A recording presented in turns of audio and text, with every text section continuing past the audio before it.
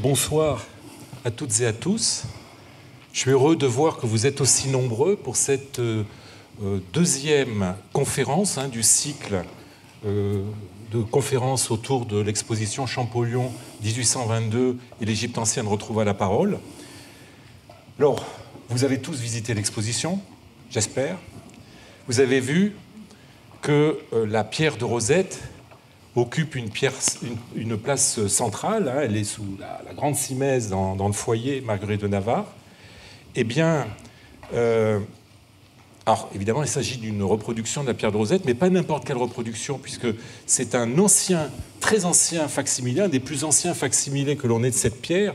Euh, fait partie ce facsimilé fait partie des copies qui ont été faites entre la découverte de la pierre en 1799 et euh, la capitulation des Français. Vous savez que la pierre de Rosette ensuite est partie chez les Anglais.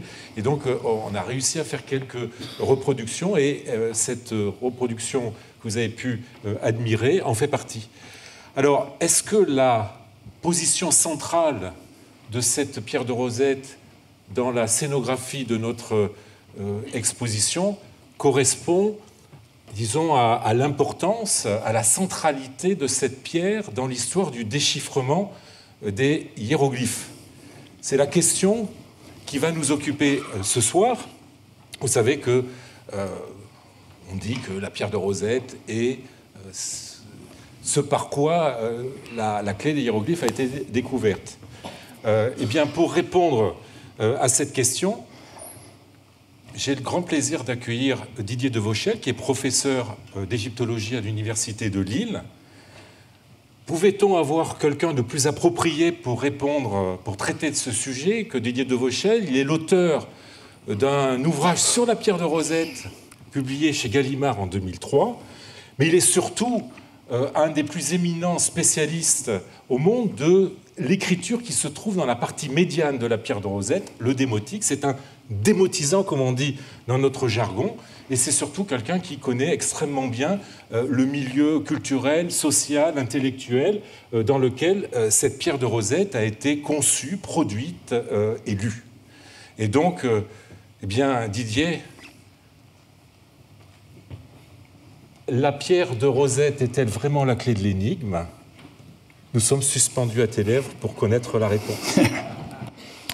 Bien, merci Jean-Luc et merci de Jean-Luc Freinet de, ton invitation à venir parler de la pierre de Rosette. C'est une invitation un petit peu à double tranchant parce que quoi dire de neuf sur la pierre de Rosette que vous ne sachiez déjà? Je vois que dans la salle, il y a beaucoup de gens très avertis sur euh, l'Égypte ancienne et le déchiffrement des hiéroglyphes.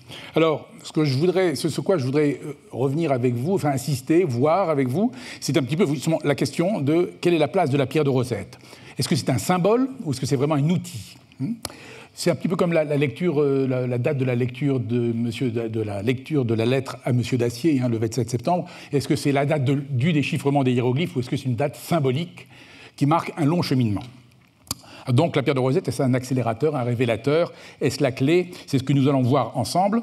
Euh, déjà, en préalable, je voudrais simplement bien souligner que les étapes du déchiffrement, attention, il faut être prudent. Vous savez qu'il y a un grand nombre de lettres qui se sont échangées entre les savants qui ont travaillé sur ce déchiffrement des hiéroglyphes pas seulement les frères Champollion entre eux, mais d'autres. Et on commence un peu à les publier de manière un peu plus scientifique aujourd'hui, mais encore beaucoup sont inédites. Et on se rend compte qu'il est vraisemblable que demain, après-demain, de nouvelles lettres vont apparaître qui vont nous permettre de mieux fixer certains éléments, de préciser certains, et peut-être même de contredire ce que je vais vous dire. Au moins une partie, j'espère pas tout. Donc, quand la pierre de Rosette est. Alors, je vais essayer de faire. Voilà. Quand la pierre de Rosette est découverte en juillet 1799 par l'armée française lors de travaux de fortification euh, au port de Rachid, à Rosette, hein. euh, Jean-François Champollion est âgé de 9 ans. Donc, nous sommes bien d'accord, il ne l'a pas vu et on reviendra là-dessus. On n'est même pas sûr qu'il ne l'ait jamais vu. Il y a quelques discussions, mais laissons cela de côté. Alors, des copies de cette inscription trilingue, comme vous le voyez, si trilingue, de cette inscription trilingue, sont très vite exécutées puis diffusée. Mais on va voir que c'est une question qu'il va falloir se poser pour voir quelles sont les étapes. Une traduction de la partie grecque, c'est-à-dire de la partie inférieure, qui est presque complète, est réalisée, et plusieurs savants européens se lancent dans l'étude de la partie médiane, qui est elle aussi bien conservée, c'est-à-dire la partie que l'on appelle aujourd'hui démotique, c'est-à-dire cette partie-ci.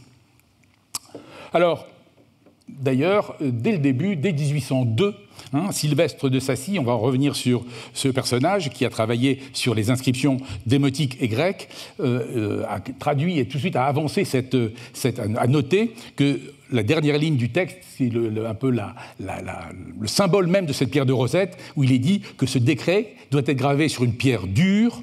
Il y a une toute petite lacune, mais on arrive après à la restituer sur une pierre dure en trois caractères caractères sacrés ou hiéroglyphiques, locaux, le démotique, et grec.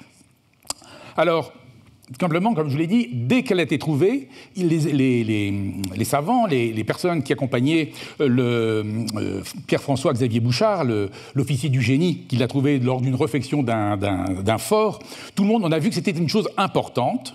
Tout de suite, on ne sait pas exactement quand, en juillet 1799, hein, il y a un peu de discussion sur la date précise, mais dès le 29 juillet, hein, cette découverte est annoncée à l'Institut d'Égypte. Puis une dépêche en date du 19 août qui sera publiée le 15 septembre dans le numéro 37 du Courrier de l'Égypte, organe de presse de l'armée, signale, voilà la, phrase, a été trouvée une pierre d'un très beau granit noir, une seule face bien polie offre trois inscriptions en trois bandes parallèles. La partie supérieure, la première et supérieure est écrite en caractère hiéroglyphique, la seconde et intermédiaire est en caractère que l'on croit syriaque. Donc vous voyez, on n'a pas encore identifié, on va vite. La troisième est écrite en grec. Le général Menou a fait traduire en partie l'inscription grecque. Cette pierre offre un grand intérêt pour l'étude des caractères hiéroglyphiques. Peut-être même en donnera-t-elle la clé. Et c'est sur cette phrase-là que tout le monde va après se baser pour dire voilà, on a la clé. En fait, on a la découverte d'un document très important, mais on va voir que les choses ne sont pas aussi euh, simples que cela. Alors, un élément aussi à prendre en compte, c'est que très vite, il y a eu des copies. Le problème, c'est de la diffusion de ces copies de cette pierre. Parce que quand il y a une pierre comme ça, il faut qu'il y ait eu des copies qui ont été très vite faites.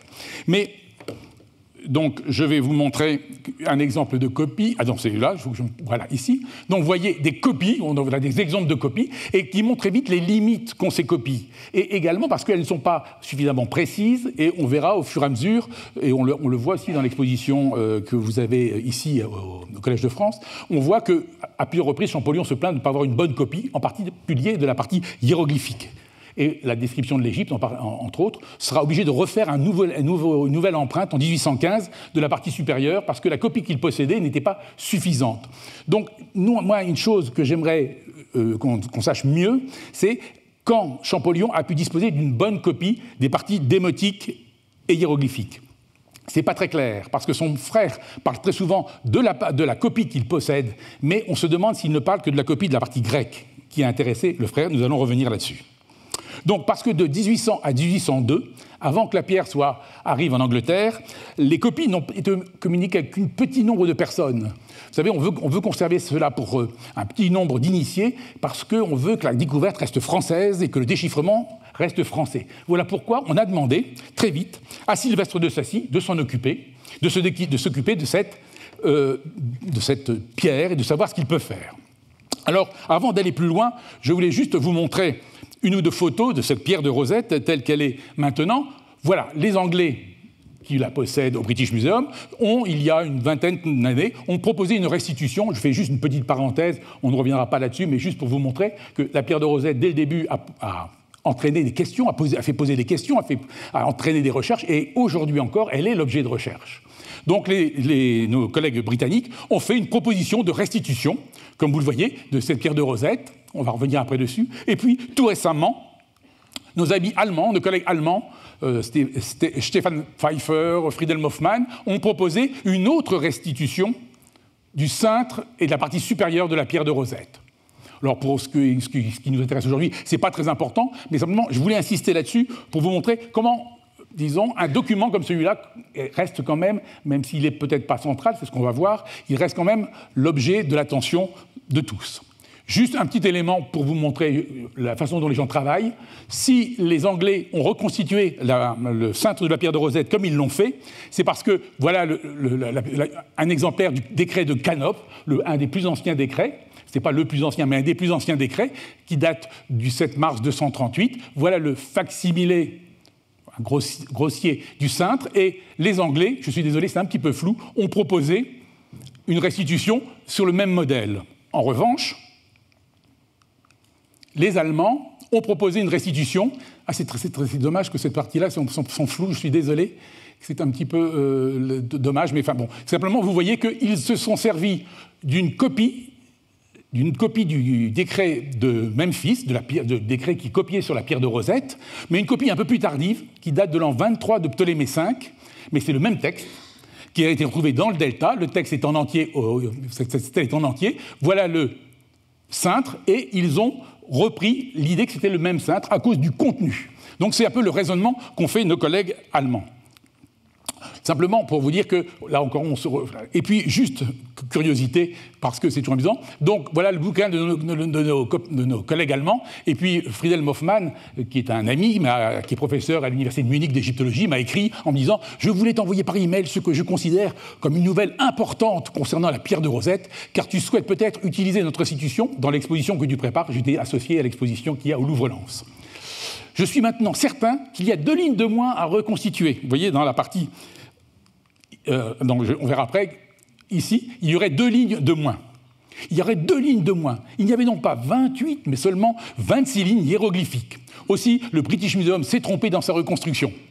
Peter Dies, un autre collègue, a mis en ligne sur YouTube, ça je ne l'ai pas retrouvé, une conférence sur la pierre de Rosette dans laquelle il arrive également à 12 lignes, euh, avec un raisonnement faux d'après ce qu'il m'a dit. Donc je n'ai pas regardé en détail, pour vous montrer à quel point les gens sont toujours intéressés. Regarde, pour nous, c'est un détail.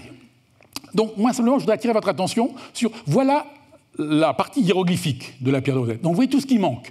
Que vous ayez deux lignes en plus ou deux lignes en moins, ça ne change rien. Vous voyez qu'il y a très peu de lignes qui sont conservées de cette pierre de Rosette. Il en reste 14.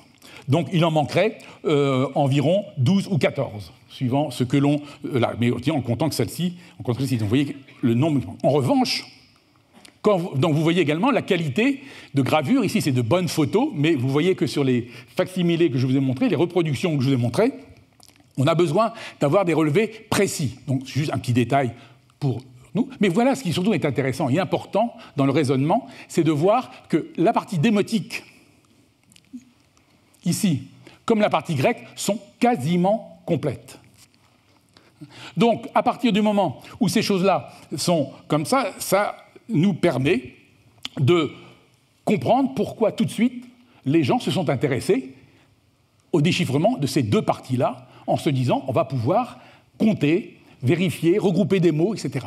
Ainsi, le nombre, aussi, de Ptolémée apparaît un certain nombre de fois dans la partie, dans la partie grecque. On va se dire, on va essayer de retrouver des suites de signes qui se retrouvent un même nombre de fois aux mêmes endroits à peu près, puisque l'on sait que c'est le même texte qui est copié. Donc on voit bien la façon dont ça s'est passé, et c'est ce qui s'est fait durant les, euh, durant, les années qui ont suivi la découverte de la pierre de Rosette. Ici, je vous montre, parce qu'on ne peut pas s'empêcher de le donner, c'est ce que je montre même dans mes cours à l'université, hein, simplement la mention en hiéroglyphe, la mention en démotique et la mention en grec de ce même passage. J'ai repris ça à nos collègues anglais, c'est ce que je viens de vous dire, je n'insiste pas. Simplement, c'est partie des, également, ces passages ici sont également souvent utilisés dans les manuscrits de Champollion ou les manuscrits de Jung pour euh, illustrer cette pierre de Rosette. Alors, premier élément, Sylvestre de Sassy et la personne. Alors, juste avant, pour dire deux mots, sachez que le texte de cette stèle, c'est un décret. Hein, c'est un décret qui est recopié qui est, pris hein, pour faire des honneurs au pharaon, et le pharaon Ptolémée V, en, contrepartie, va euh, accorder des bienfaits, des, avantages aux prêtres égyptiens, pour euh, résumer les choses très simplement. Deuxième élément très important à, à noter, c'est que l'Égypte, au moment de la rédaction de la pierre de Rosette, de la date de la pierre de Rosette, l'Égypte est divisée en deux. La partie sud a fait scission. Il y a deux pharaons locaux, un ou deux pharaons, c'est discuté, Or Néfer et Néfer, qui règnent sur le sud de l'Égypte. Donc l'Égypte est divisée. Donc cette pierre de Rosette, ce décret, n'a été diffusé à la date de la, de la, date auquel euh, enfin la date de la pierre de Rosette qu'elle nous est conservée, ce décret qui viendrait de peut-être de Saïs, de l'an 9, il n'a été divisé, il n'a été diffusé vraisemblablement qu'en basse Égypte. En Haute-Égypte, il a été diffusé plus tard, quand le pharaon Ptolémée V a pu reprendre le pouvoir sur tout le pays à la fin de son règne, vers l'an 19. Donc, simplement pour vous dire, c'est un décret qui même rentre dans un contexte politique égyptien de l'époque difficile. C'est pour ça que tout à l'heure je vous ai montré le, parallèle avec la, stèle de Nobaïre, hein, le, décret, l'autre décret de Memphis, qui lui date de la fin, du moment de la reprise en main du pays. Donc il y aurait des recherches à faire, je n'insiste pas, je, n'ai pas les compétences pour le faire, mais sur le contenu de ces, décrets qui semblent en fait moins, euh, disons, être liés les uns aux autres d'une manière un peu, un peu curieuse, et en particulier ceux qui datent de Ptolémée V, c'est-à-dire avoir un lien fort entre eux, avec des petites variantes, et on ne comprend pas toujours très bien comment les choses ont été diffusées. Est-ce que ce décret a vraiment été diffusé à cette date-là, partout où c'était possible? C'est peu vraisemblable. Il a été diffusé. Jusqu'à quel niveau, c'est difficile de le dire. Mais il n'est pas impossible que demain ou après-demain, on découvre de nouvelles copies, de copies significatives, hein, pas des petits bouts. On a retrouvé des petits bouts, mais voilà, je crois qu'on a quatre, quatre, copies de ce décret au total, mais il y en a deux, c'est vraiment des fragments. Alors revenons à Sylvestre de Sassy. Donc Sylvestre de Sassy, voilà le document que je vous montre. Cette lettre qui est très connue, d'ailleurs, qui est exposée, le livre est exposé dans l'exposition ici. Voilà les planches, la planche que donne Sylvestre de Sassy. On est en 1802 et à l'époque, vraisemblablement, comme je vous le disais, les, les, copies de la pierre de Rosette ne sont pas encore diffusées partout. Il va falloir attendre qu'elle arrive en Angleterre pour que nos amis anglais fassent des copies et eux les diffusent beaucoup plus, ce qui a amélioré cette diffusion. On reviendra là-dessus. Donc voilà ici. Alors en fait, vous voyez dans la planche de Sylvestre de Sassy, c'est un bout de la pierre de Rosette. C'est des lignes, mais c'est les fins de lignes uniquement. Donc vous voyez, c'est un travail. On voit le côté un peu euh, hésitant de l'écriture, assez juste tout de même, mais le texte est coupé. Donc vous voyez, c'est juste pour illustrer. C'est comme s'il donnait lui-même, disons, il ne donnait pas toutes les informations. Et voilà quelques éléments qu'il en retire. C'est-à-dire, c'est le principe qui est adopté. On cherche les noms, les titres, les choses, en particulier les noms grecs, si on les retrouve d'un côté ou l'autre. C'est comme ça qu'on arrive à isoler les mots, on arrive à isoler des lettres, et on arrive à l'idée toujours que l'écriture est alphabétique. Hein. C'est toujours un peu l'idée de trouver Ptolémée, Arsinoé, etc. Ça, on ne peut pas le faire sur la partie hiéroglyphique. Sur la partie hiéroglyphique, comme vous l'avez vu, elle est très, euh, elle est très lacunaire, et il y a cinq ou six fois le même cartouche, celui de Ptolémée. Il n'y a pas d'autre cartouche. Donc on est très vite limité. Alors, voilà par exemple. Alors, juste quelques exemples de passages que je voudrais lire avec vous, extraits de Sylvestre de Sassy. Hein. On voit que notre ami Sylvestre de Sassy, on lui a demandé citoyen ministre, qu'il vous paraît surprenant que l'espérance que j'avais d'abord conçue, sinon de déchiffrer entièrement l'inscription égyptienne du précieux monument trouvé à Rosette, du moins d'en lire assez de mots. En fait, on lui a fait une commande, ici à Taël, et puis euh, il le dit un peu plus bas, ces mots, il est vrai, ne sont que des noms propres, et par conséquent n'offrent par eux-mêmes par eux-mêmes aucune lumière sur la langue de l'inscription. Donc vous voyez que Sylvestre de Sassy, dans son travail, dès le début, voit les limites de son, de son travail, mais il ne parle pas du tout de l'inscription égyptienne, de l'inscription euh, hiéroglyphique, pardon parce qu'il parle de l'inscription démotique comme de l'inscription égyptienne. Là déjà, ils l'ont repéré. Aujourd'hui, que vous désirez, citoyen ministre, connaître les résultats de mon travail, je suis obligé de, obligé de vous avouer franchement qu'ils se réduisent à bien peu de choses. Je n'aurais pas même pensé à fixer et à mettre par écrit le peu que je crois avoir découvert si vous ne l'aviez exigé de moi. Et alors il dit, vous vous rappelez, citoyen ministre, que le monument dont il s'agit, et qui a été trouvé, etc., offre trois inscriptions, ou plutôt une même inscription en trois caractères. Simplement pour bien montrer le contexte. Donc on est bien d'accord, tout début, ils ont bien vu c'était la même, la même chose. Celle que l'on voit en haut de la pierre est en caractère hiéroglyphique, elle est formée de 14 lignes. Celle qui se trouve en partie inférieure, c'est le caractère grec occupe 54 lignes. Enfin, entre ces deux inscriptions, alors vous comprenez pourquoi j'insiste, parce que moi je suis plutôt intéressé et spécialiste de la partie médiane, entre ces deux inscriptions, il y en a une troisième, celle qui traitait de syriaque hein, sur le tout premier, euh, le tout premier euh, notice, hein, la toute première notation de la découverte de cette pierre de Rosette. Il y en a une troisième contenant 32 lignes que je nommerai égyptienne. Sans cependant affirmer positivement que le caractère dans lequel elle est écrite ait été universellement adopté dans toute l'Égypte. Et il nous dit, j'ai eu, et alors c'est important pour nous, j'ai eu sous les yeux trois copies de ce monument des deux premières qui ont été communiquées vers la fin de l'an 8, c'est-à-dire en 1800, hein, à l'Institut national, et dont vous avez bien voulu m'accorder il y a plus d'un an la communication. L'une a été prise sur le monument, etc., par des procédés typographiques. Donc là, on a une, expression de la façon dont il travaille. Il va rassembler les copies qui ne sont pas encore diffusées, et c'est pour montrer que pour nous comprendre ce qu'a fait Champollion, on est obligé de passer par le même chemin. Et d'ailleurs, Champollion fera la même chose. C'est-à-dire savoir, nous, on aimerait savoir ce que lui a eu en main quelques années plus tard. Donc ça, c'est dans le tout début, donc je n'insiste pas, vous pouvez le lire comme moi. Mais ce qui est très intéressant, c'est qu'il y a en citation de l'ouvrage de, de, Sassi, il y a les Grecs écrivent et disposent les jetons, c'est pour nous dire l'écriture se fait de droite à gauche, mais surtout, ils assurent qu'ils écrivent à l'endroit. Ils ont deux sortes d'écriture, appelées l'une sacrée, l'autre populaire. C'est là où apparaît pour la première fois le mot démotique, issu d'Hérodote, et qui va être, disons, non pas employé d'une manière absolue par, euh, euh, euh, Sylvestre de Sassy, mais qu'il va proposer et qui va être adopté. Je vous rappelle simplement, on en reviendra, c'est que Jung, son grand opposant, va en permanence défendre la, mention qu'il y a sur le, document de la pierre de Rosette. Sur la pierre de Rosette, l'inscription démotique est qualifiée d'encorial. Hein. celui de la Cora, c'est-à-dire celui de la campagne, si vous voulez, celui des Égyptiens. On ne peut rien conclure de ce passage, alors simplement pour, le démotique, c'est toujours. Hein. Il faut donc s'en tenir à reconnaître dans notre inscription, je parle de l'inscription démotique, un caractère égyptien, et celui sans doute dont parle Hérodote et qu'il appelle démotica, grammata, les caractères populaires. Donc c'est là, on voit arriver le mot démotique pour la première fois, disons, appliqué.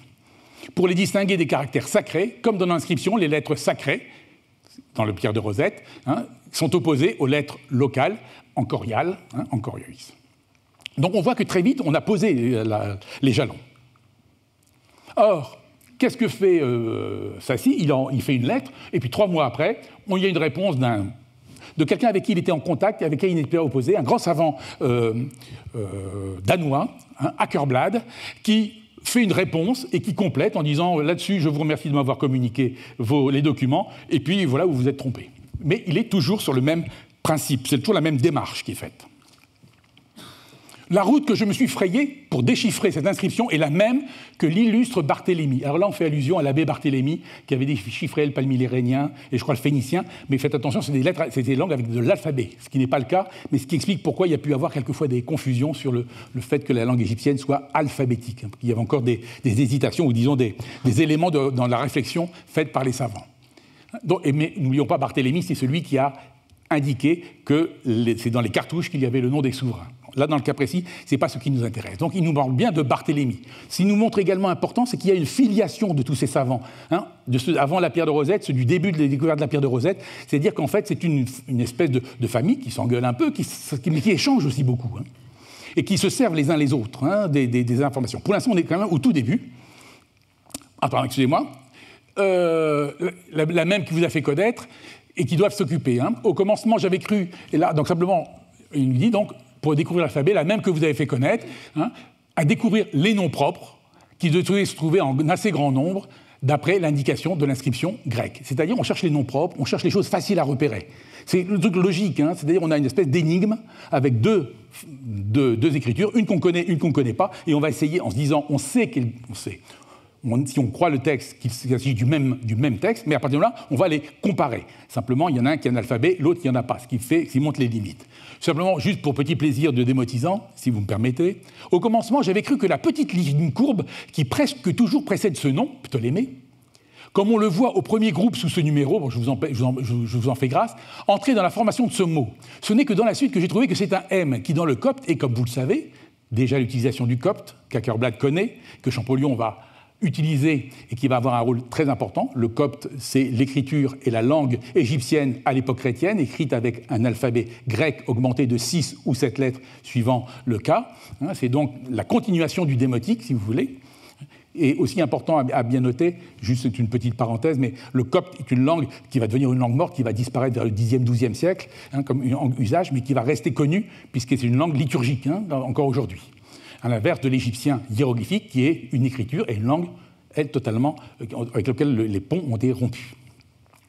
Donc, simplement, juste, excusez-moi, je, je, sur mon truc, il a trouvé le qui dans le copte, et comme vous le savez, un préfixe qu'on place devant tous les, presque tous les cas, tant au singulier qu'au pluriel. Et j'en ai la preuve au commencement de la quatrième ligne, où en effet, cette lettre ne se trouve pas devant le nom de Ptolémée. Donc vous voyez, simplement, c'est une petite chose, parce qu'en démotique, quand on écrit le nom de Ptolémée, on fait une petite virgule qui ressemble à un même, c'est le début du cartouche. Donc, toutes les premières mentions qu'il voit, c'est le pharaon Ptolémée qui est mentionné, et le dernier, c'est un, particulier qui est un prêtre éponyme, qui lui s'appelle Ptolémée. Donc là, on voit comment Là, il y a une petite erreur d'Ackerblad bien, bien, bien excusable, mais là, on s'amuse quand on voit ce genre de petites choses. Vous voyez, on se distrait comme on peut. Et terminé, sur Ackerblad, je suis fort d'accord avec vous à l'égard de l'application des démotica grammata d'Hérodote à l'écriture de notre inscription. qu'elle-même désigne par encorial. Donc, vous voyez, on parle, on s'étudie, on échange, et puis on, avance. Alors, ce qu'il faut aussi voir dans tout cela, j'essaie de retrouver où là, c'est que euh, dans ces premières tentatives, je vois où j'en suis dans mes papiers, excusez-moi, hein, simplement pour vous montrer, c'est qu'il y a, on se sert beaucoup des lettres et, des, lettres échangées entre les différents savants pour savoir comment ils ont fonctionné. Là, ici, je vous montre un exemple, tout simplement, et on aura l'occasion d'en reparler. Il y a un, un, livre qui est paru, comme vous voyez, en 1897 hein, par de la Brière et qui est Champollion inconnu et lettres inédites. Et on voit à l'époque, quand on les, utilisait, ces lettres inédites, on en prenait un petit bout là, un petit bout là, on les mélangeait, etc. etc. Ce qui fait que c'est très utile mais quelquefois, on ne sait pas la date, ou il mélange deux dates différentes, une ou deux fois. Il a... Donc c'est utile, mais encore une fois, il faut espérer, et c'est pour ça que le travail qui sort actuellement par Madame Madrigal sur les, ses, travaux sur les archives Champollion, en particulier à Vif, est très utile parce qu'on commence à avoir des documents un peu plus mieux rangés, un peu plus utilisables. Hein. Il faudrait souhaiter, comme ça sera certainement dans l'avenir, une espèce de base de données, même si je ne suis pas fanatique des bases de données, mais on puisse avoir tout de suite tous ces documents rassemblés, qu'on connaisse les dates pour pouvoir justement fixer hein, le moment de l'apparition de telle ou telle euh, réaction de Champollion, de telle ou telle euh, possession de tel ou tel document qu'il a en main pour pouvoir travailler. Mais simplement pour vous dire, faites attention, ça c'est très amusant, les Champollions inconnus, euh, l'autre livre est plus, plus précis et vous allez voir ce qu'on peut en faire. Donc quelques exemples pour vous montrer le contexte. Hein, je ne vais pas en prendre trop, mais quelques-uns, sans vouloir vous embêter, sur le déchiffrement. Lettre de Champollion Figeac à son frère. Tes découvertes, et c'est vraiment pour montrer le contexte, tes découvertes sur le papyrus égyptien en écriture cursive me font le plus grand plaisir. Simplement, je vous montre que tout de suite, Champollion n'a pas, ne s'est pas contenté que de la pierre de Rosette. Hein. Il a regardé un peu partout les papyrus, etc., les documents, tout ce qu'il pouvait relever. C'est une chose très importante, et vous savez que dans les recherches qui sont faites aujourd'hui sur le déchiffrement des, écritures euh, anciennes perdues et qu'on essaye de restituer, celles qu'on arrive à déchiffrer, c'est celles qui possèdent, une matière suffisamment abondante et diverse qui permet justement de faire des progrès. Un peu de texte religieux, un peu de texte administratif, un peu de texte royaux, un peu de texte privé, parce que c'est comme ça qu'il y a une diversité qui permet de progresser. En revanche, et c'est ce qui se passe par exemple pour d'autres langues qu'on n'arrive toujours pas à déchiffrer, qu'on arrive quelquefois à lire, faites attention, lire ce n'est pas déchiffrer, on arrive à lire des langues qu'on ne comprend pas. Hein, donc simplement pour montrer, c'est que quelquefois on arrive parce que les corpus sont très répétitifs, que des textes funéraires avec des formules. Alors on connaît 15 mots, mais c'est toujours les mêmes 15 mots qui reviennent. Là, c'est la, chance que l'on a sur l'Égypte, et dans l'Égypte ancienne, et c'est l'attitude qu'a eu Champollion. Ce n'est pas le seul, mais lui, il l'a fait d'une manière euh, disons, très abondante, enfin très importante, c'est d'accumuler. Et donc on le voit bien, ici, dès le début, et puis, je présume que la lettre de M. Aklorblatt aura beaucoup servi, lit aussi celle de M. Sassy. L'une et l'autre contiennent des détails intéressants sur les divergences d'écriture que Clément d'Alexandrie dit avoir existé en Égypte, telles l'épistolographique. Ça, je crois qu'on vous en a parlé euh, lors de la dernière conférence. Et encore une fois, la dernière ligne de l'inscription, etc. Une autre lettre de Champollion-Figeac.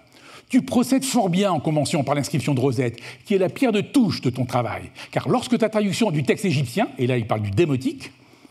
Par la méthode te donnera le sens de l'inscription grecque. La palme sera cueillie et comme tu le dis, elle est si belle, courage.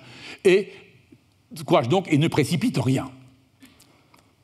Alors très vite après, parce que vous savez que Champollion avait des, élans, puis également des moments d'abattement. Et alors son frère lui écrit Ce que tu me dis de la non-explication de l'inscription de Rosette me fâche. Il me semble qu'on pourrait la lire. Voici un autre moyen. Alors il lui conseille de façon de faire. Euh, un autre moyen approximatif, hein, le frère connaît beaucoup de choses mais il est prudent, pour y parvenir. Le texte grec te donne le sens du texte égyptien. Traduis ce texte grec en copte. Vous savez que euh, Champollion connaissait bien le copte, travaillait le copte, il se vantait même de parler copte tout seul. Donc le copte, ça, il avait des moyens, mais c'est sûr, hein, c'est une langue qui n'est pas, archi difficile, et il avait déjà, y avait déjà des grammaires, il y avait déjà des, éléments qui permettaient de bien travailler en copte. D'ailleurs, vous, vous l'avez vu dans les expositions, il se sert de l'alphabet copte souvent pour transcrire l'égyptien. Donc là, il nous dit, voilà, tu vas, traduire, là. rapproche ensuite ta traduction copte. Pardon, excusez-moi, zut, je tape sur le mauvais. Ah, je reviens, je suis Voilà, excusez-moi. Alors, que tu auras des équivalents grecs. Rapproche ensuite la traduction copte du texte égyptien, après avoir fait subir au mot copte les changements dans les lettres ou l'orthographe qu'indiqueront les données sur cela. Et peut-être gagneras-tu quelque chose à ce travail. Alors, le fait de mettre le, lien entre le copte et l'égyptien, Champollion y a toujours pensé. Cette méthode-là est un petit peu, c'est un clin d'œil, c'est un peu enfantin. C'est pas ça qui a donné la clé ni a donné l'envie de, se servir du copte. Mais Champollion, le frère, a dit d'accord, grand frère, je vais, t'écouter. Et il lui dit, je vais faire l'essai de ta méthode pour lire le monument Rosette. J'ai bien peur que mes efforts ne soient vains, par la raison que nos dictionnaires coptes renferment un nombre de mots trop bornés pour espérer l'entière traduction de toutes les phrases grecques en mots purement égyptiens. Cependant, vogue la galère. Et puis, encore une fois, on revient. Monsieur Fourier veut absolument que tu t'occupes de la partie hiéroglyphique de l'inscription. Bon, c'est bien beau le reste, parce que c'est ça quand même l'important. Mais il faut en finir sur le texte égyptien. C'est marrant, il, continue de parler du texte égyptien entre eux, hein, pour parler du démotique. Voilà le but qu'il ne faut pas perdre de vue. Et après, juste rapidement, j'ai perscruté le travail de mon Ackerblad et j'ai découvert de nombreuses erreurs. Là, on voit le, tempérament de, Champollion, souvent critique, souvent. Mais critique, mais ça ne veut pas dire qu'il faut être un peu dur, parce qu'il était jeune et un peu enflammé, mais en même temps, il reconnaissait le travail des autres. Quelquefois, il ne le reconnaissait pas, mais il s'en servait. Il prenait les bonnes choses, il les critiquait, il les analysait, il revenait. Donc c'est une attitude tout à fait euh, scientifique, hein. même si quelquefois il n'est pas très tendre. Euh, donc voilà, il dit J'ai découvert de nombreuses erreurs. J'ai été 16 jours sans démarrer sur l'inscription égyptienne. Je suis convaincu que l'on ne parviendra jamais à l'expliquer entièrement. Cependant, donc il montre bien les limites aussi, il se rend compte, hein, on peut compter sur le déchiffrement de plusieurs mots, lignes et phrases. Juste une petite là, dans les éléments, juste pour illustrer ce que je vous disais tout à l'heure, Prosper Jollois, un ancien membre de l'expédition d'Égypte, écrit à Champollion Figeac, au frère Je me suis empressé de recueillir tout ce qu'il y avait de disponible en épreuve de papyrus dans les ateliers de la commission pour vous les envoyer. C'est pour vous montrer le contexte. On accumule la documentation, on la regarde, et on, voit d'ailleurs dans l'exposition et dans les différentes expositions des copies de Champollion de choses qu'il ne comprenait pas encore, mais qu'il notait, qu'il enregistrait, qu'il emmagasinait. Et les archives qui sont conservées à la BNF, par exemple, sont de ce point de vue-là tout à fait étonnante hein, de voir la, masse de documents qu'il a utilisés. Alors si on va quelques années plus tard, parce qu'on ne va pas tous les passer en revue, hein, en 1818, et c'est pour revenir à ce que je vous disais, il y a cette démarche, essentiellement sur le démotique, pour le hiéroglyphe là, et puis à un moment, il a quand même à regarder ça de plus près. Si tu pouvais obtenir une gravure de la partie hiéroglyphique de l'inscription de Rosette faite par la commission d'Égypte, la nouvelle qui a été faite en 1815, hein, parce que l'ancienne n'était pas suffisante, pour être plus précis, quand vous allez regarder celles qui sont exposées dans les différentes euh, expositions, vous verrez que les copies sont souvent. Alors, quand on connaît les hiéroglyphes maintenant, on, reconnaît mieux les choses, mais pour y travailler, c'était un petit peu compliqué. Alors, je ne doute point qu'avec cette copie plus exacte que la gravure anglaise, mes travaux sur cette partie d'en devinssent plus faciles. Je tiens infiniment à la voir le plus tôt possible. Il y a plusieurs lettres, il revient là-dessus. Il rouspète pour, pour remuer son frère. À ce moment-là, n'oublions pas, Champollion n'est pas. Euh, s'il y a beaucoup de lettres, c'est parce que Champollion le jeune est à Grenoble et Champollion Figeac est à Paris. Champollion le Jeune ne va rejoindre son frère qu'en 1821, hein, au, mois de juillet. Donc c'est pour ça qu'on a la, la, correspondance. En revanche, pour 1821-22, on n'a pas de correspondance puisqu'ils ils habitaient la même ville. Et alors là, juste mon travail sur le, mon travail sur le texte cursif n'est point aussi avancé que celui sur le texte hiéroglyphique, qui offre déjà des résultats très curieux, mais il me faut une bonne copie pour en finir, etc. Donc toujours les mêmes éléments. Et puis pour revenir on va tout de suite regarder, juste, je vous ai ici fait un extrait de, euh, là, que je retrouve, où je l'ai mis sur mes papiers, pour vous, euh, illustrer euh, cette, ce, travail. Vous voyez que Brière, là j'ai pris deux extraits dans Brière, pour vous montrer un peu le livre, le premier livre que je vous ai montré, de 1897, là, il, associe deux, comme si c'était une même lettre, ces deux parties qui appartiennent à deux lettres différentes, qui ne sont pas très, très éloignées dans le temps, mais simplement pour vous montrer la façon dont il travaille. Donc il faut être prudent dans l'utilisation de ces bouquins anciens pour revérifier d'où vient. Hein. Mais là, il y a juste une chose, c'est juste un clin d'œil, vous allez voir, et qui va avec le titre de la communication et avec des propos de Jung. Vous voyez, moi, je, me, je ne me prive de rien. Les déchiffreurs d'hiéroglyphes de Londres et de Paris ont-ils enfin reconnu l'absurdité de leurs prétentions? Renoncent-ils à cette fameuse clé du docteur Young? Young a publié un article quelques années, peu de temps auparavant, où il parle de la clé pour déchiffrer. Il a commencé quand même à voir qu'il y a des signes phonétiques et des signes qui sont idéographiques. Il n'a pas compris la façon, il n'est pas, pas, allé jusqu'au bout pour voir comment ça se combinait, mais il a bien vu qu'il y avait des signes qui représentaient des idées et d'autres qui représentaient des sons. Et donc, il, a cette clé. Je crains bien que les voyageurs en Égypte soient encore dans la dure nécessité de copier péniblement les hiéroglyphes au lieu de les traduire la clé à la main, ce qui eût été infiniment commode. Alors j'aurais bien aimé retrouver exactement le passage de, Jung, je ne l'ai pas retrouvé, peut-être pas cherché suffisamment dans l'Encyclopédia Britannica, il avait fait un long article, après qui a été réédité un peu plus tard, où il doit employer le mot clé, donc je voudrais le retrouver. Et parce que là, les découvertes du docteur Jung, annoncées avec tant de face, ne sont qu'une ridicule forfanterie. Il est, vache parce que quand même, il a fait des très gros, il a beaucoup travaillé, euh, Jung, et il s'en est beaucoup servi. Et eux deux, en même temps, collaboraient. Je vous rappelle, je vous rappelle pas, je vous dis un petit peu en avance, Jung était là au moment de la lettre à M. Dacier, de la lecture de la lettre à M. Dacier, et ils ont échangé entre eux. Même avant, même là, c'était mieux. Donc, là, la découverte si vantée de la prétendue clé me fait pitié. Je plains en conscience les malheureux voyageurs anglais, etc. Et puis là, c'est un panneau de l'exposition du Louvre-Lens où euh, il y a une lettre qui, de Thomas Young à son ami le 29 septembre 1822, deux jours après la lecture auquel il a assisté. J'ai trouvé ici, ou plutôt retrouvé M. Champollion le Jeune, qui a vécu pour l'inscription de Rosette durant ces dix dernières années et qui vient de faire quelques avancées dans la littérature égyptienne qui paraissent vraiment gigantesques. On peut dire qu'il a trouvé en Angleterre la clé qui lui a permis d'ouvrir la porte. On voit bien, c'est tout à fait euh, très, bien, très bien tourné. Et on constate souvent que c'est le premier pas qui coûte, le sien, celui qui l'a fait. Mais s'il empruntait une clé anglaise, la serrure était si affreusement rouillée qu'aucun bras normal n'aurait eu assez de force pour la tourner. Je trouve la façon de présenter les choses tout à fait euh, sympathique. Thomas Young est un grand personnage, hein, un homme qui a quand même beaucoup travaillé. Il a également un peu reproché à, Champollion de, n'avoir fait peu de progrès en démotique, parce que c'est là où euh, Jung a le plus travaillé. Malgré tout, quand on regarde les archives qu'il y a euh, à la BNF, par exemple, on voit qu'il y a des choses très intéressantes. Alors, juste pour remettre le contexte, n'oublions pas que je vous disais, les papyrus, Champollion, euh, s'en est occupé tout de suite. Et ce qu'on oublie souvent, comme je vous disais, on parle de la, lettre à M. Dacier, le 27 septembre 1822, comme une date formidable. Un an auparavant, il fait une communication, il vient juste d'arriver de, Grenoble, hein, il a, presque un mois auparavant, hein, et le, 31 août, il présente de l'écriture hiératique des anciens égyptiens.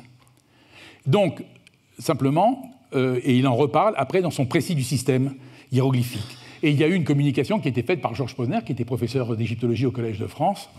C'est pas le titre, c'est pas la, chaire n'est pas le titre, mais c'est l'égyptologue au Collège de France, un de nos maîtres euh, hiératisants, hein, qui avait fait lors d'une des commémorations en 1972 sur le déchiffrement des hiéroglyphes, hein, le 150e anniversaire, il avait fait une communication à l'Académie. Ces pages pourraient être reprises presque mot pour mot dans une grammaire moderne. On se demande comment Champollion est parvenu à cette connaissance de la première cursive égyptienne. Simplement, c'est pour vous dire que Champollion a tout pris en compte. Et déjà, un an auparavant, il avait bien vu comment fonctionnaient les cursives et ce la façon dont il décrit cette cursive. Et puis, euh, on vous en parlera la, semaine prochaine ou dans 15 jours, je ne sais plus, hein, sur les cours du Collège de France. Je crois que le dernier cours, un des derniers cours du Collège de France, il commence, à présenter la, cursive hiératique. Donc ça montre aussi l'importance qu'il y a dans cette... Euh, Donc ça, montre bien que ces documents-là ont de l'importance Hein, et ce qui montre l'émulation qu'il y a eu entre Champollion et Jung en 1821, 22, 23. Et puis, n'oublions pas non plus qu'il y a eu deux, euh, deux, trois mois avant la lecture à M. Dacier, une, lecture sur le démotique et un mémoire sur l'écriture démotique des anciens Égyptiens qui a été présenté par Champollion. Il a fait plusieurs lectures. Alors vous savez qu'à l'Académie, il y a des documents. Cela, comme le mémoire de hiératique, le mémoire de démotique est inédit. Mais vous voyez que ces, documents euh, sont, euh, pour être publiés, c'est juste le, dernier qui a été publié, mais cela aurait pu être publié. D'ailleurs, ils ont été préparés à la publication. Et il a fait donc ce mémoire, dont il a dû lire quelques extraits à deux, trois reprises, le, mois précédent la lecture de, la lettre à M. Dacier sur le démotique, avec des notations aussi très importantes, pour vous dire par quel bout il a pris hiératique, démotique, avant d'arriver au hiéroglyphe. C'est-à-dire qu'on voit bien l'élément. Et c'est pourquoi la pierre de Rosette, et ça on s'en rend bien compte, elle a été utile surtout pour travailler les premiers éléments sur le démotique et après sur le fonctionnement des cursives avec tous les papyrus. Les hiéroglyphes sont venus après et surtout grâce aux documents rassemblés. Euh, on, lui a envoyé une copie de l'obélisque de défilé, mais un an auparavant, il y a les copies de, de, UO qui lui ont été envoyées. Donc il y a eu plusieurs éléments qui lui ont permis d'avancer pour enfin arriver, alors donc ça je, reviens dessus, pour enfin arriver à la lettre à Monsieur, la Dacier. Mais avant d'aller jusqu'à cette lettre, juste un tout petit mot pour voir un peu le fonctionnement, pour terminer sur le fonctionnement du déchiffrement. Je vous montre juste un extrait du, protocole du texte de la pierre de Rosette. Les quatre premières lignes de la pierre de Rosette, c'est un protocole. Donc vous voyez avec des, épithètes euh, concernant Ptolémée, hein, Ptolémée V, hein, et d'Arsinoé, mais vous voyez qu'il y a le nom également de prêtre de, éponyme de l'année. Donc on a donc différents noms grecs qui se trouvent là. C'est ça qui sert de base. Donc on est sous Ptolémée V, donc là c'est l'exemple pour la pierre de Rosette, on est sous, euh, le pharaon Ptolémée V Épiphane. Mais donc Champollion, qu'est-ce qu'il va faire? Il va se servir de protocole de papyrus démotique. Et là, euh, je n'aurais peut-être pas dû le mettre tout de suite, mais il va s'en servir, il va faire des copies de papyrus euh, démotiques, mais juste l'introduction, pour recopier les parties où il y a le protocole, pour pouvoir comparer. Et puis, on va retrouver aux archives, de la, BNF, on retrouve des, copies qu'il a faites. Et puis ces copies, ben, une fois qu'il a eu déchiffré les hiéroglyphes, qu'il était avancé sur les hiéroglyphes, il a un peu laissé tomber le démotique et il a laissé à son frère, en 1823, deux documents.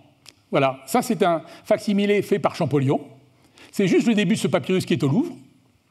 Et il y en a deux comme ça donc très beau facsimilé, et c'est juste la partie introductive avec la date jusqu'au début du contrat. Ce sont des contrats, donc il a conservé ça. Donc il s'en est servi, et puis bon, il avait ça dans ses archives, et c'est son frère qui a fait une petite plaquette sur cette question. Ça nous montre également ce qu'on sait déjà, ce qu'on a vu à plusieurs reprises, mais à quel point le lien entre les deux frères était important, et n'était pas que euh, l'un surveille l'autre, mais disons qu'ils ont travaillé en commun et combien même le frère aîné était intéressé par les recherches de, toutes sortes sur tous les documents égyptiens de, euh, son, petit frère, hein, aussi bien le hiéroglyphe que le démotique. Donc là, je vous montre ça parce que j'ai trouvé ça, euh, quand j'avais trouvé il y a des années, en allant, en regardant les papiers de la BNF, en, trouvant ces facsimilés, fort jolis, j'avais été content d'identifier le papyrus du Louvre qui correspondait, les deux papyrus, et puis surtout, après, quand j'ai trouvé la petite plaquette du frère de Champollion, vous voyez, on voit des petits bouts comme ça, on avance par, par, saut de puce. Donc voilà un petit peu comment il s'amuse après à rassembler les noms hein, Ptolémée, Cléopâtre, Arsinoé, etc. Vous me croyez sur parole, mais c'est ça. Alexandre. il faut bien un moment se dire, voilà, comme ça, personne vient vous embêter pour poser des questions. Et puis, il y a un document particulièrement célèbre c'est le papyrus qu'on appelle le papyrus Cassati. Alors faites attention, il y en a plusieurs de papyrus Cassati, il y en a un grec très connu, mais il y en a un démotique particulièrement connu, qui est très célèbre. C'est un papyrus thébain qui conserve la copie d'un contrat de vente de part de revenus attaché à l'entretien de tombes et au service de défunts. Hein, il a été acquis par la Bibliothèque nationale de France, en, euh, elle ne s'appelle pas d'ailleurs nationale à l'époque, hein, c'était la Bibliothèque euh, peut-être royale de France à l'époque, je pense, hein, donc j'ai laissé, en août 1822. Eh bien, ce document Champollion va l'utiliser dans la lettre à M. Dacier deux mois après. Je vous ai dit qu'il avait étudié. C'est-à-dire qu'il est en permanence, il est, toujours au fait de tout ce qui court. Hein. En moins de deux mois, il s'en sert de ce document. Alors il est d'autant plus intéressant Hein, euh, il a été mis à contribution pour y, repérer, pour y, repérer, dans les formules protocolaires des noms et expressions proches ou identiques à ce qui se trouvait en grec et en démotique sur la pierre de Rosette. Et le hasard, de son côté, Jung en fit faire une copie qu'il reproduisit dans son ouvrage hiéroglyphique, je vais vous montrer ça. De plus, la même année, il découvre à Londres un papyrus qu'on appelle le papyrus grec, mais qui est un papyrus grec cette fois-ci, qui contenait la version grecque du même contrat. Donc là, il y a vraiment. Alors, on se dit, ah, mais le nom du témoin là, c'est pas bien lu, etc. Donc voilà un des échanges, il y a une des discussions qui est faite, et on est juste aux alentours de l'année 1822-1823, au moment où après euh, Jung va arrêter ses recherches de, de, travailler. Mais là, encore une fois, donc, Jung put ainsi repayer dans la liste de témoins de nouveaux noms grecs. Alors, je vous montre rapidement ce qu'il en est. Voilà ce magnifique papyrus de la BNF. Voilà le papyrus Cassati, hein, avec le, contrat ici, la copie là, parce que c'est une copie, ce texte est une copie d'un contrat, parce que c'est un partage entre trois frères, et puis il y, en a un, il y a un, papyrus principal, et puis les autres ont fait des copies de ce texte, d'ailleurs c'est marqué au début copie, et puis la souscription grecque avec le nom des témoins. Donc ainsi on arrive à retrouver les éléments comme on les retrouve sur le papyrus grec. Donc c'est un document qui n'est pas pas vraiment, vraiment publié. Il est connu, il est très célèbre, et, puis, et en plus de ça, il n'est il est, il est pas trop, trop difficile à lire, et il est, de ce point de vue-là, tout à fait euh, intéressant. Pour ceux qui veulent faire des exercices de démotique. Voilà au, euh, British Museum, la copie de Young est même enregistrée sous un numéro British Museum EA, comme si c'était un papyrus. C'est la copie de Young qui est enregistrée. Donc pour vous montrer, et Young l'a utilisé dans ses hiéroglyphiques, où il a regardez ce papyrus Cassati, la transcription, etc., et la traduction en dessous. Voilà le travail qui sont faits. On est en 1822-1823.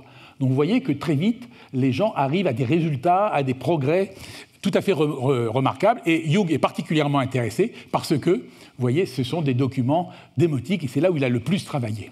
Ce qui va bien dans l'esprit de Jung, hein, c'est un scientifique, c'est un, pur scientifique, c'est-à-dire qu'il a vraiment une énigme à résoudre et il se penche dessus, il se sert du reste, mais il, reste branché dessus. D'ailleurs, dans une de ses lettres, il dit plus tard, mais moi, je, démotique, c'est bien, mais moi, je préfère dire en corial. C'est-à-dire, il reste, disons, sur ses, bases. Et voilà, dans le même bouquin hiéroglyphique, le bouquin, le papyrus grec, je vous le montre juste comme illustration, ce fameux papyrus qui est la copie. Ce qui est amusant, c'est qu'on a retrouvé le, texte démotique correspondant de ce papyrus euh, à Berlin, mais il a été publié quelques années plus tard par un des grands démotisants allemands, euh. Euh, donc également, ça fait partie des petits des dossiers de, documents que nous connaissons par ailleurs. Et puis, il faut bien en finir par là, parce que c'est par là où tout commence pour nous, mais nous, c'est là où on va s'arrêter après. La lettre à Monsieur Dacier. Simplement, je dis, quand vous regardez la lettre à Monsieur Dacier, il est important de lire le titre en entier. Dans la lettre à Monsieur Dacier, c'est relative à l'alphabet des hiéroglyphes phonétiques employés par les Égyptiens pour inscrire sur leurs monuments les titres, les noms et les surnoms des souverains grecs et romains. Donc il est parti de l'idée, on va commencer par les choses, c'est dans les souverains grecs et romains où on a la lecture avec des hiéroglyphes et souvent des écritures phonétiques. Donc c'est bien quelque chose de très délimité. Le vrai progrès qu'il va faire sur la langue égyptienne, ça va être en 1824, deux ans après, quand il va sortir son premier, la première édition de son précis du système égyptien. C'est-à-dire que là, en fait, c'est vraiment un peu le, c'est pas le déchiffrement, là c'est un petit peu le pas supplémentaire qui suit le démotique, le démotique, et on pourrait presque dire que c'est 1824 le déchiffrement, au moment où il fait le précis, où il, avance encore plus. Tout ça, c'est pas gênant, on a besoin de symboles, et ce symbole est beau, et l'année est magnifique, on ne parle que de Champollion en ce moment, etc. J'espère que ça ne vous ennuie pas trop.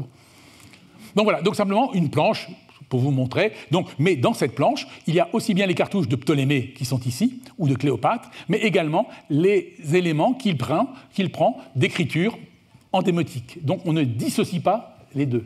Simplement, donc, pour moi, vous voyez, la pierre de a été vraiment l'élément qui a servi pour le, démotique, un accélérateur pour les hiéroglyphes, mais qui n'est pas la clé des hiéroglyphes. Hein. Il est un élément qui a aidé, mais qui pas, à mon avis, n'est pas ce qu'on pourrait appeler la clé. Encore une fois, on peut quelquefois simplifier, etc. Et pour terminer, je vous montre ici, donc Thomas Young n'a pas fini de faire parler de lui, mais peu de temps après encore, mais c'est simplement pour conclure sur, notre, euh, sur ce grand savant anglais, et qu'il faut là, je sais qu'il y a quelques années, quand on est allé au British Museum, il était indiqué, Jung a déchiffré les hiéroglyphes, et Champollion les a euh, euh, comment, divulgués, les a euh, diffusés, etc. Il y avait un petit peu une, une exagération. Nos collègues anglais en sont revenus là-dessus, et d'ailleurs Jung lui-même reconnaissait que c'est Champollion qui avait. Quelquefois, Champollion n'a pas toujours reconnu euh, tout ce qu'il devait à ce pauvre euh, Jung. Et c'est pourquoi, dans ce récit, cette espèce de résumé de toutes les recherches, il fait ainsi une espèce de, mise au point hein, sur tout ce qui a été découvert. Et je vous montre euh, deux, trois passages. Je ne peux résister à la tentation naturelle de revendiquer publiquement le crédit, quel qu'il soit, qui m'est dû pour le travail que j'ai fourni. Donc, dans cet account, en 1823, Jung concède que Champollion a étendu la liste des valeurs phonétiques par l'étude des noms étrangers, tout en maintenant qu'Ackerblad, celui dont on a parlé tout à l'heure, avait été pionnier sur ce point, et affirmant même que pour le démotique, la contribution de Champollion avait été minime en ce qu'il avait suivi les ce qui, au vu des, archives, semble un petit peu exagéré. Donc, simplement, ainsi, au-delà de quelques frictions, les deux, les deux savants correspondaient de façon amicale. Et c'est amusant, dans ce, livre de 1823, Jung rappelle comment le hasard fait qu'en 1814, Champollion avait écrit à la Royal Society de Londres pour avoir confirmation auprès de quelqu'un qu'il y avait un acide direct, il était encore gamin, hein, de l'exactitude de plusieurs passages de la version démotique de la pierre de Rosette. Et puis le hasard fait que sa demande fut transmise à Jung, qui était alors le secrétaire de la société, et qui répondit quasi immédiatement. Donc vous voyez, quand je vous disais tout à l'heure que les lettres qui apparaissent comme ça nous en prennent des éléments, donc on voit bien que Dès 1814, il y avait des échanges, et qui n'étaient pas des échanges, disons, euh, d'opposition. Donc, dans son précis de 1824, Champollion reconnut que Jung fut le premier à identifier correctement plusieurs signes sont utilisés pour transcrire les noms étrangers, parmi lesquels ceux de Ptolémée et de Bérénice. Donc, on voit bien derrière euh, tout ça, disons, l'ambiance dans lequel ça se passe. Simplement, je vous rappellerai que je vous, du, vous parlais tout à l'heure du, du précis système hiéroglyphique. Hein. Là, nous voyons ici les, derniers travaux de Young. On voit un petit peu comment toutes les choses se mettent en place. Mais également, juste pour terminer, je voudrais vous rappeler qu'il y a eu des sceptiques pendant encore des années par, la suite. Et à tel point, c'est que quand on a découvert le décret de Canop, celui que je vous ai montré au tout début, hein, en 1866, et qu'il a été publié en 1867, donc longtemps après, il y a Naville qui écrit à un moment, il se dit Ah, quand même, ça montre bien qu'on ne s'est pas trompé. Donc ça montre bien que pendant des années, il y a eu toujours des gens qui ont pensé que le chemin qui avait été accompli était un chemin, euh, disons, contestable. Et j'espère que non, puisque c'est pour ça qu'on est là aujourd'hui. Donc voilà, ce que un petit peu, je voulais montrer, c'est-à-dire que pour moi, il me semble, et j'espère ne pas avoir été trop confus, un petit peu, juste ce qu'il faut, euh, c'est-à-dire vous montrer combien l'ambiance dans laquelle ça se passe et que les expositions, les diverses expositions qui ont, lieu, qui ont eu lieu, celle de la, de la BNF euh, ici, celle de Louvolence, je n'ai pas encore vu celle de Lyon, mais disons, on montre le contexte historique dans lequel ça se passe. Donc il y a un contexte dans lequel ça se passe. Je vous rappelle, je n'en ai pas parlé, mais que Champollion, à un certain moment, en a bien bavé parce qu'il était, il était pour, Napoléon. Hein, et puis il a quand même vécu des périodes 1815, les 100 jours, la, restauration. Il a été, il a été euh, renvoyé, il a été exilé à Figeac, puis à Grenoble. Donc il a connu des, moments très très difficiles. Hein. En plus, comme il était un peu emporté, son frère était un peu plus politique, donc un petit peu apaisé les choses. Mais donc il y avait tout ce contexte-là qui fait que son travail n'a pas non plus été continue. En revanche, il a quand même autour de lui, et derrière ça, il y a tout le contexte intellectuel euh, franco-anglais essentiellement. Les Allemands se sont un peu mêlés un peu après, mais qui ont fait une rivalité. Il fallait montrer que c'était nous, que nous étions les meilleurs, donc il y a derrière tout ça une compétition, mais également un grand respect. Comme je vous disais tout à l'heure, ce que vous savez, c'est que Jung était là au moment de la lecture de, à Monsieur Dacier. C'était Arago, je crois, qu'il l'avait euh, amené. Donc, euh, qu'il avait même fait. ils, ont échangé deux, trois éléments par la suite ensemble. C'est-à-dire qu'on voit bien qu'il y a une communauté scientifique au-delà des dissensions politiques de ces époques. Ce qui un petit peu rassurant. Espérons que ces choses puissent continuer ainsi, hein, c'est-à-dire qu'on passe au-dessus. Mais ce qui montre bien le contexte dans lequel Champollion n'est pas seul, Champollion, la lettre à M. Dacier, comme la pierre de Rosette, ce sont des éléments symboles, phares, mais il faut quelquefois les remettre dans un contexte général pour essayer de les, disons, de, mieux comprendre, de mieux appréhender ce type de découvertes, qui sont quand même des choses absolument essentielles, qui ont fait que la vision de l'Égypte que l'on avait avant le déchiffrement des hiéroglyphes, mais les déchiffrements des hiéroglyphes, ça a pris dix ans. Puis même les premiers textes vraiment traduits n'arrivent que plus tard, hein, complètement traduits, hein, n'arrivent que plus tard.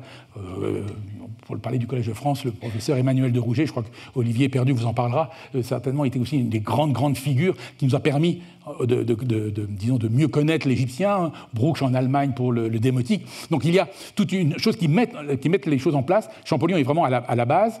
Il est mort trop jeune. Après, on ne peut pas, peut pas, peut pas imaginer ce qu'il serait, ce que ses travaux auraient donné s'il avait continué, euh, s'il avait vécu plus longtemps.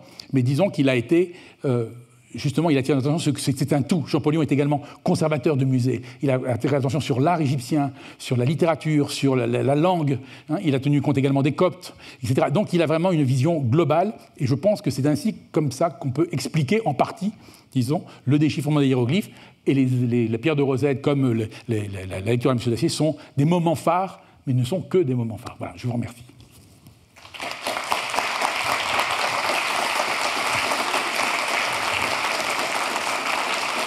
Acaba de